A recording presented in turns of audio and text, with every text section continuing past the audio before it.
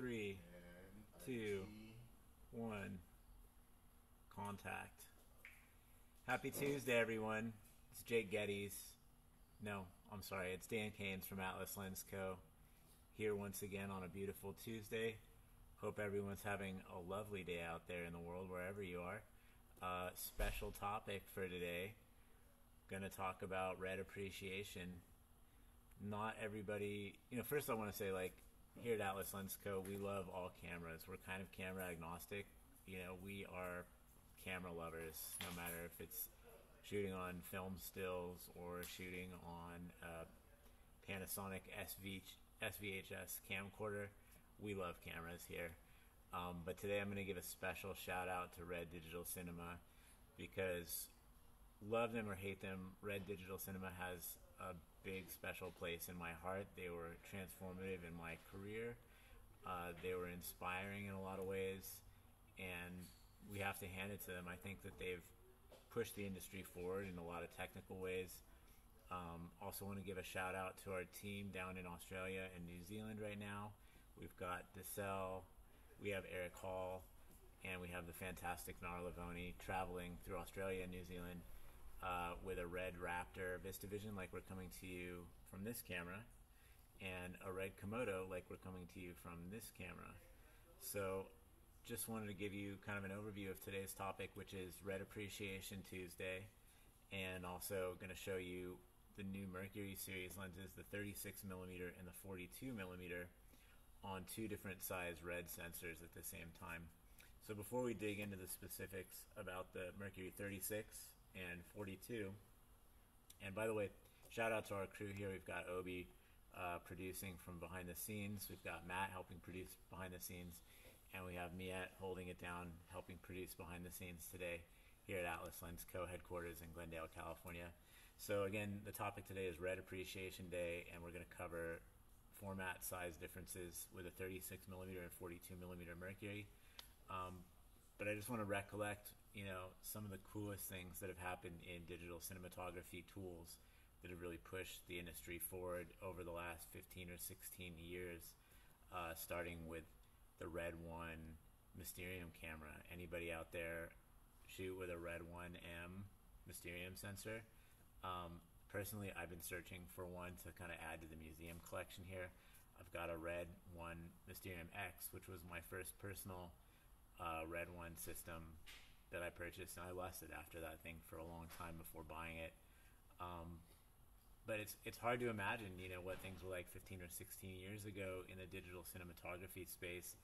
There wasn't a professional level imaging digital cinematography camera that was readily available to people, you know, at different levels of their career, whether even at the top tier, um, all the way to the very beginning of your career.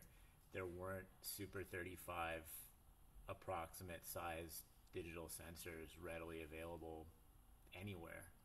Um, and Red really changed that by creating the Red One with the Mysterium sensor, which was the first Super 35 CMOS based uh, digital format camera, and it was a pretty affordable camera system at about 17,500 for just the brain or you know the body, what we call the body for most of us.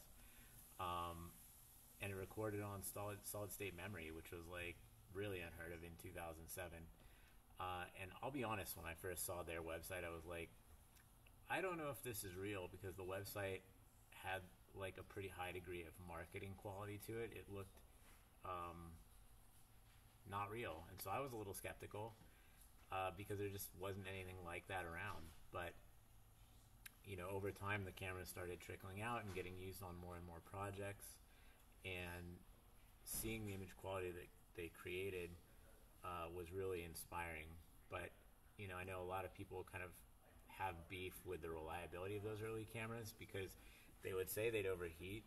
Um, but I ended up working around the cameras a lot, and typically, what I think people thought was overheating was if the V mount battery would get jiggled loose, and then the cow- the camera would just power down, and so that was like a whole new challenging experience. But people thought they were overheating when, in fact, like the V mount battery pins were just jiggling loose, and uh, you'd lose power, and the camera would shut down. And then, of course, like any good computer it takes a little while to restart the computer, right? So, you know, all those early digital camera systems are, and, and the ones we're using today are basically computers with a sensor attached. So there's all kinds of computer related issues that, that pop up.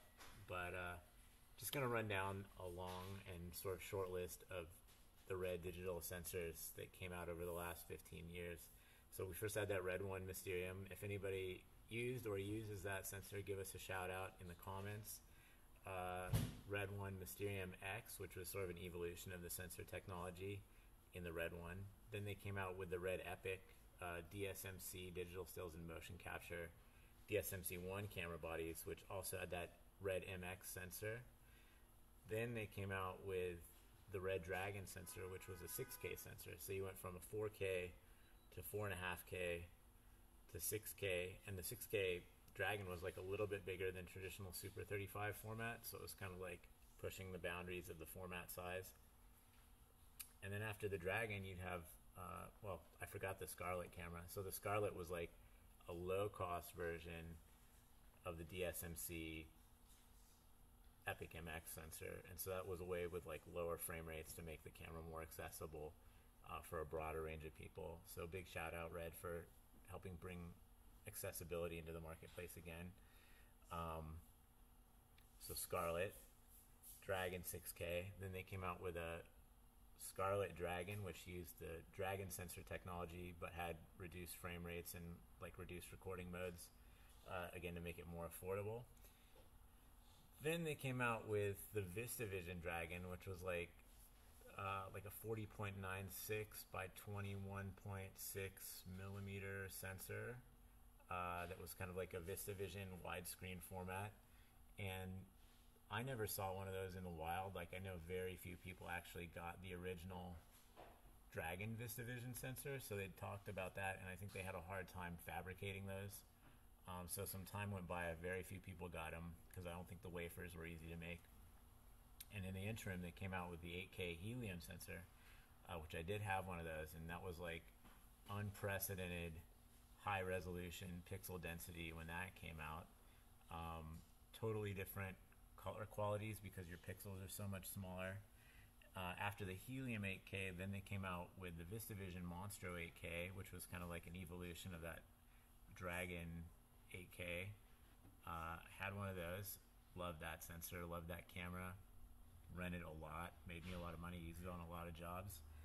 Um, after that, they came out with the Gemini 5K, which was like reduced pixel density but larger pixels. And I think they called it Gemini because of uh, dual uh, native ISO, which was a new feature in Red cameras.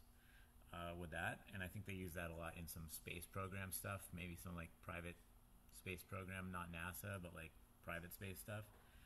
Um, and then, you know, big game changer for a lot of us, and you know what we're looking at on this camera here, Komodo 6K. So this is like an even cooler evolution of the te- the technology. It's got a global shutter. Uh, the brain is really small, so it's kind of like a reduced format size. Uh, so easy to mount and rig anywhere, and with that global shutter, you don't have to worry about um, rolling shutter, so you can like hard mount this in really aggressive action scenarios, kind of like an action camera, and you know you're going to get the shot. You can use strobes, and uh, I know this is a favorite among a lot of you out there because we see you asking about the Komodo and using it with our Orion series or our Mercury series lenses all the time. And I happen to be a big fan of this camera, um, so shout out Komodo users looking at me right now through a 36 millimeter Mercury. And after the Komodo, then we've got the VistaVision Raptor 8K sensor, which we've got here. Hello, VistaVision Raptor. Uh, kind of an evolution of that Dragon 8K VistaVision to the Monstro 8K VistaVision, and now Raptor 8K VistaVision. Uh, again, incredibly compact body size, um, feature rich, easy to use, and it's kind of like a Komodo on steroids in some ways. You know, you lose the global shutter functionality, but having that VistaVision sensor size is really nice. Uh, and then the most up to date sensor, well, they came out with two body variants, right? So they've got the Raptor, which we're looking at, and then a Raptor XL, which integrates um, kind of more high end production level features like built in ND filters, um, all kinds of accessory power and conveniences that make it easier to use on larger scale productions where you're not tacking a bunch of gack on the camera. Anyway, I'm rambling, but like my point is, I just want to say thanks to Red because they're the rebels. They really pushed the industry forward. Um, if you go back to two, 2006, 2007, what was the most feature-rich, prosumer, affordable digital cinema camera? Panasonic. And to this day, Panasonic are pretty awesome because they put so many features into the camera. Um, but Red just took it to another level by introducing uh, larger scale CMOS sensors. So you're getting an imager that's about the size of 35 millimeter film. And that was kind of unprecedented in 2007. Um, you know, there were people using CCD sensors with stuff like the Sony F35 or the Panavision Genesis variant of that. And those pushed the industry forward too, but in terms of adoption across people making music videos or commercials, which is where a lot of my work was coming from in 2007, 2008, 2009, and beyond, um, having access to such an incredible camera tool opened the possibilities for me, my career, and a lot of my colleagues and associates um, and friends. And so I'm grateful for that because it challenged other camera manufacturers to also push forward in creating new, more viable cameras for production that's accessible. Um, it really changed the independent filmmaking market. It changed career paths for me. And so I just want to express my gratitude, Red Appreciation Day. Um, and again, I'm pretty camera agnostic. I love using all cameras. So big shout out to all the other camera manufacturers, but today is a special day. Um, and finally, you know, the last one I meant to mention is the Red Rhino, which is uh, kind of, I think, I could be wrong, like a helium update. So the helium is like the S35 8K high density sensor, and the Rhino is also an 8K uh, high pixel density sensor that's great for you know action or wildlife where you're going to be farther away from uh, the subject probably or possibly and you just need high high resolution with high pixel density. Um, so to kind of get into the key topic, which is Atlas lenses here, uh, what we're showing right now is a Mercury 36 millimeter on the Komodo, and we've got a Mercury 42 millimeter on the Raptor, and we've got those configured top Komodo on top, Raptor on the bottom. No, I have that switch. Thank you, Matt, for correcting me. I will make mistakes. I am human, despite what you all have heard. I'm not a replicant. Um, yes, so to correct myself, the Raptor's on the top side, and the Komodo's on the bottom side. Uh, so a lot of you had questions about these formats and the different focal lengths with the different sensors. So we wanted to actually put this up for you to see um, directly, and I can give you a quick little flare. And while I'm flaring you, uh, Obi and Matt can kind of help pull up some of the questions, and we're also joined by Oksana. Um, and as part of Red Appreciation Day, Oksana has brought a special treat for us, which is, uh, you know, we all like to pretend that cameras are our tools, and it's true, they are tools, uh, but they're also our toys, right? So um, the best toy is also a tool, maybe, because it lets you get things done uh, but it also feels fun to use. Um, but we have a really great toy here from Revar Cine, which is a micro cine, mini cine, uh, 8K VistaVision Raptor camera with an Atlas Orion 65 millimeter model lens. So if you have papers on your desk that are getting blown away, or you just want to make people laugh, uh, and you're a steady cam operator or you've got a Ronin on set and you're like in between setups and you just want to like freak people out, you can get out this really cute toy, uh, high end toy, I should say. It's very high end, nice heft to it model. And we actually resell these in the Atlas uh, web store. And uh, occasionally we raffle these off because I think they're just too fun, too cool and I'd say this is a really great part of Red Appreciation Day. So, shout out Cine, shout out Red, shout out Jared, uh, shout out Andre, shout out Clark, shout out all the crew of Red. Really appreciate you all. Um, keep doing what you're doing. Keep challenging the industry. Sometimes you ruffle people's feathers the wrong way, but that's all part of changing the world, right? And um, nobody's perfect. Love you. Um, I'm not perfect either, so beef with me after this. Um, but yeah, so we've got the the 42 millimeter and the 36 millimeter Mercuries on the V Raptor and the Komodo. And I'd love to take your questions. And after a few minutes, I can swap these so you could see the field of view difference between the two lenses.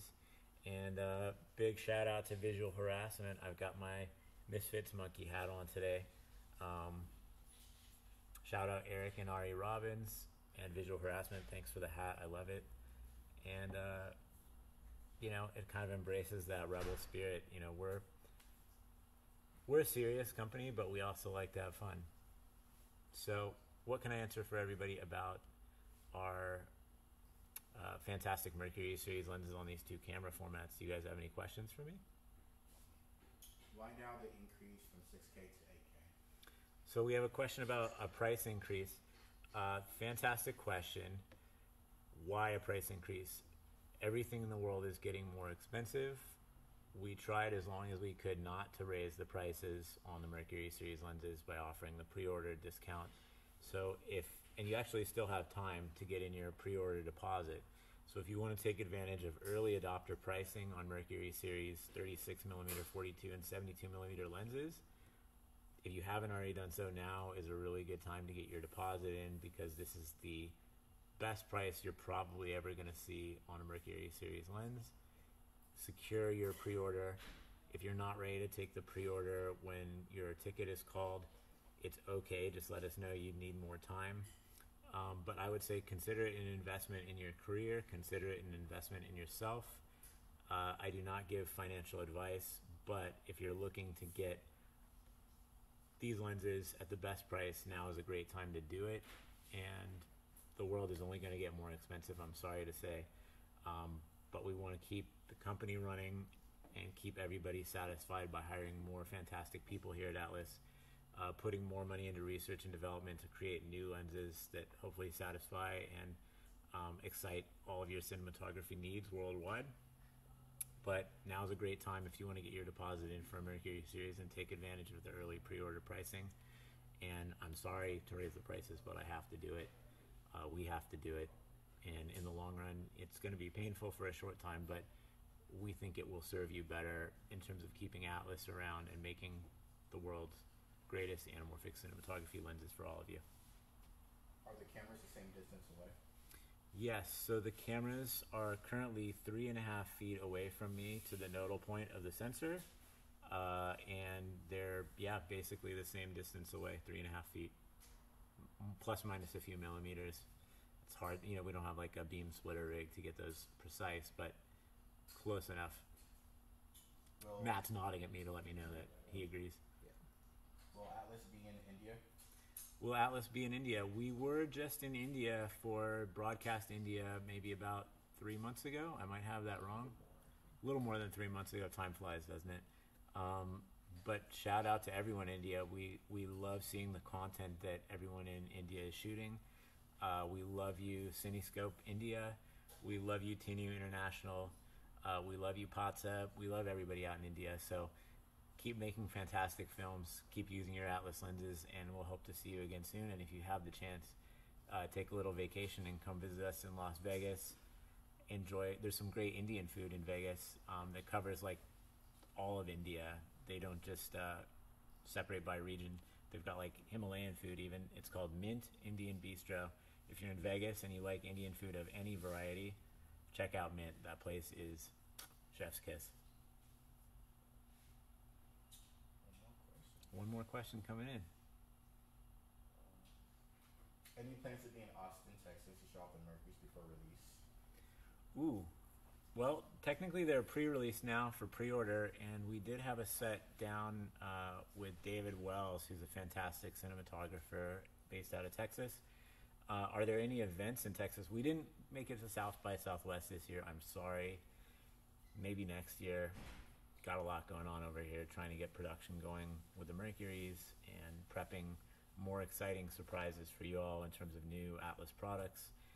Um, but it's not that far, and I've heard a lot of people from California move to Austin. So if you're missing California, come on back to Glendale. We'll give you a tour. Love to show you around. Even if you're not from California, come over. We welcome you, and we do these demos weekly. I know it's not the same as being in person, but if you know of any killer events or killer rental houses in Austin, shoot us an email at info at atlaslensco.com. Let us know what rental houses we should be connecting with or what kind of um, local events or organizations in Austin are the ones that are popping, and we will try to get involved as best we can. Do you have the Atlas Orions in stock or is there a wait?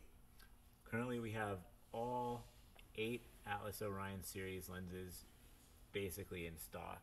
Um, so 32, 40, 50, 65, 80, and 100 are relatively available and ready in stock in both metric and imperial scales, PL or EF mount. We do have a few silver edition uh, series lenses still available. So if you haven't gotten silver edition and you want silver edition, uh, we still do have those. And if you've never experienced those, maybe we can show you on here on the stream next week. And if you're in Glendale, come by tomorrow to our Glendale headquarters. We'll show them to you in person. And the ones I'm forgetting, 25 millimeters. So we do actually have a few 25 millimeter Orions on shelf and ready to ship. And the 21s are starting to ship very slowly now. So if you have a 21 millimeter Orion pre-order in, expect to be getting uh, contact from our sales team very soon about your order allocation. And if you don't have a 21 millimeter and you want one, now is a great time to get in touch and get your pre-order locked in, and you should see your lens within 60 days probably. Hopefully that answers your question. The Orion series, they're available. The extenders and expanders that make the Orion series, all of them, cover full frame images edge to edge, are in. Um, a lot of people ask about V-Raptor or Monstro.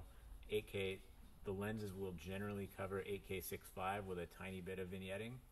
Um, most of them actually cover without any vignetting, but the wides do have a tiny bit of vignetting, so you need like a 5% punch in, which would give you like a 7.8 or 7.5K uh, resolution master in 8K 6.5 for a CinemaScope delivery. And I see some hands pointing at me with some more questions, so What's shout the out. closest you can get with a 42? And then what diopters do you recommend?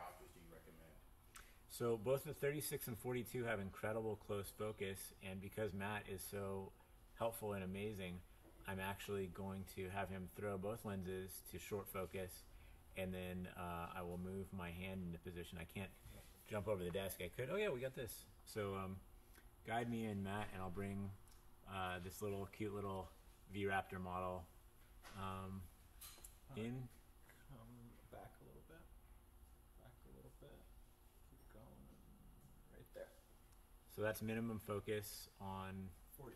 42 millimeter on the V Raptor 8K Vista Vision. And then over here we have the 36 millimeter. So I'm actually going to be able to come closer because this comes down to 18 inches. This guy comes down to about 24 inches. Yeah. Yeah, so So come on. everyone get a mental picture of that V Raptor on the 42 millimeter. And then Matt's going to guide me in uh, slowly. Am I? I might be too far in now, no? Maybe a little too. Yeah, right about there. right there. So I'm about 18 inches there with the uh, the camera, and that's looking through the 36 millimeter. So hopefully that gives you a very direct, um, and I'll kind of angle this to try to let me know how bad that is. I don't know. No, it looks good. Okay, I think they're both matching ish, but Oh, I'll put this. that guy's. hmm, Let's see. Yeah. Hopefully that helps. Um, and in a minute, I can actually flip flop the lenses so you could see the effect of using the wider lens on the V Raptor. Um, common misconception the V Raptor in 6K is not exactly the same size as the Komodo in 6K. So the V Raptor is still a little bit larger because the pixel density is less. Um, and I have a very handy tool if you want to look at the direct comparison of the formats. So you actually get a little bit bigger sensor size with the V Raptor in 6K Super 35 compared to the Komodo in 6K Super 35. Pop on phfx.com. Big shout out Phil Holland. Uh, I know Phil is an even bigger red person than me. He's like massive red fan guy, and also just super helpful, genius cinematographer guy, and coder and multi-talented individual. So he's got this fantastic tool on phfx.com called Format Compare, and that will let you put up basically just about any digital or film format that you can think of and compare it to another one. So side by side comparison of the recording format size. Um, and he also has another fantastic tool called Shot Prep that will give you very detailed information about what you can expect in terms of angle of view, field of view with different anamorphic lenses like our Orion series and Mercury series. No matter what camera you're using, whether it's a Bolex with 16 millimeter film, uh, an Alexa 35, Alexa Classic, all the way up to a Red VistaVision 8K or a Sony Venice. So phfx.com format compare phfx.com shot prep two super tools you need to check out um, we have to build a sub page on our website linking to them because we love it so much we decided to sponsor those apps and sponsor what phil's doing with those free to use tools. Thank you phil. Love the tools. Super helpful stuff. And i think obi's letting me know there's two more questions so i'm going to try to answer those as quickly as i can. And then if there's no more questions i'm going to flip-flop these and then i'll probably sign off for the day. So uh, fire away obi. Do all the Mercury's maintain a 1.5 B squeeze from close focus to infinity? Yes. So fantastic question. To repeat it, Obi is saying uh, someone out there is asking if the Mercury lenses have a consistent 1.5 anamorphic aspect compression ratio, uh, what I like to call an anamorphic coefficient of 1.5 through the focus range. Absolutely, all of the Mercury lenses have a consistent anamorphic coefficient of 1.5 times. So if you're at close focus, it's going to be at 1.5. If you're infinity, it's going to be 1.5 and you don't have to worry about people's faces getting warpy, wonky, or weird, um, unless you're using barrel distortion, which is part of the lens design to your advantage to make your picture even cooler. Um, but yeah, you don't have mumps in the traditional sense. And one more question. The new Mercury focal length that's not available for pre-order yet, will they also be increased by price upon pre-order, or will, will you have an opportunity to potentially get them cheaper? So fantastic question um, to reflect what Obi just asked from the people out in the world. People are wondering what is the pricing for the 54 millimeter, 95 millimeter, and 138 millimeter mercury lenses. We haven't set the pricing for those. We're trying to figure out how much it costs to make them. We're currently in the process of prototyping, and if you come see it at NAB 2023 in Vegas, or if you see us on a live stream, we're going to be debuting the Mercury 54 millimeter for sure. I was fortunate enough to get to hold a prototype that we built uh, just this week and see first light through it, and it's an incredible addition to the Mercury family. We haven't set prices for those, but typically what we like to do is reward early adopters because we know that there's a wait time associated uh, with getting the lenses, and that's part of our production planning process. It's a way that we like to approach building up the lenses. It's worked for us really well since we started with the Orion series back in 2017. And so we're going to continue that tradition.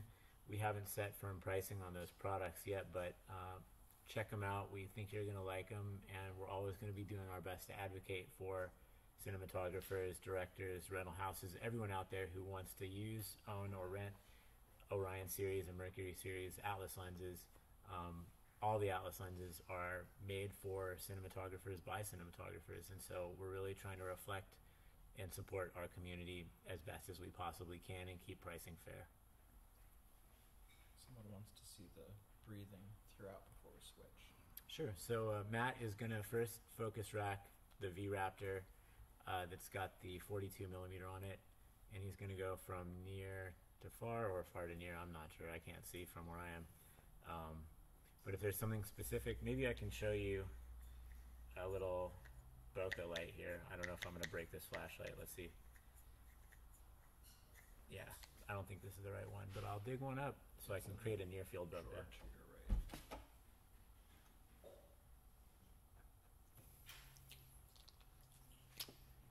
Um, in the words of Elton John, I'm just a candle in the wind. I'm really excited because I'm going to the Depeche Mode concert tonight. Anybody else out there going to see Depeche Mode uh, down at the? I call it the Great Western Forum, but I think it's called the Kia Forum now. Uh, anybody like Depeche Mode out there? It's okay if you don't. I do. So we're racking the 36 now.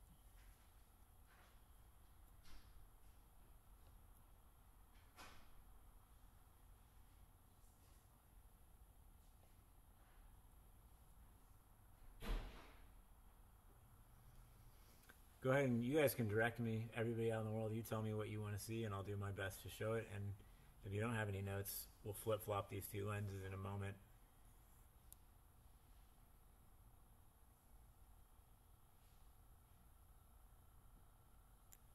And if you're just joining the stream now, we had a little historical overview that was not that great done by me about the red digital sensors that came out over the last 15 years. And shout out to Red for changing the industry and making cinematography more fun. Um, but yeah, I think uh, think we're gonna wrap it up. We're gonna flip flop the lenses and then uh, see if there's any other questions, and then we'll say goodbye for the day. So think of your questions while we're switching. Uh, you can still hear my voice, but you can't see me too well until these gentlemen uh, get the lenses lined up. Yeah, other way. Yeah, yeah, yeah. There you go. Got it. Nice.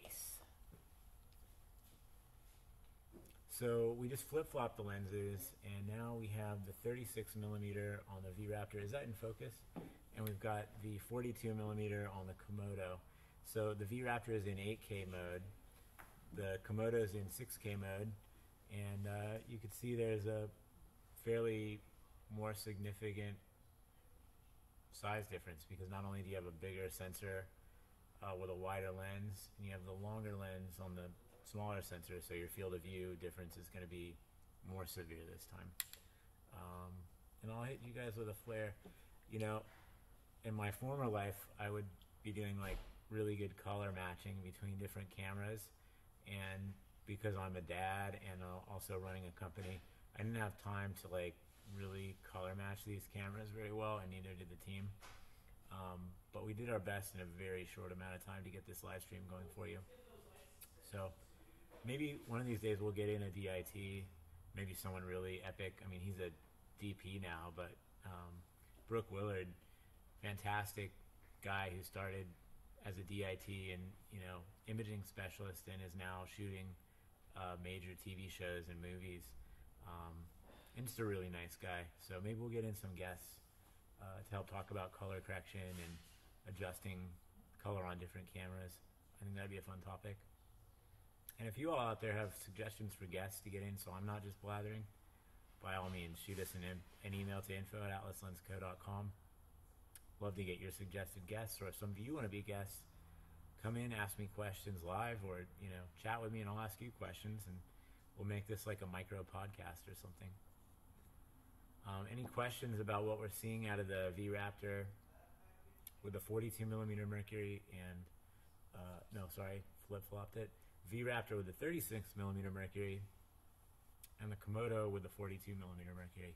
And shout out to the Red Komodo users group. Um, this is where I got the idea to do this because you were thoughtfully asking questions about if you could only take one to a desert island, which one would you get? And I think my point was really it depends on your shooting style. So, you know, of course, the most ambivalent, ambiguous answer in the world. Um, but some people love a wide angle and some people love a medium.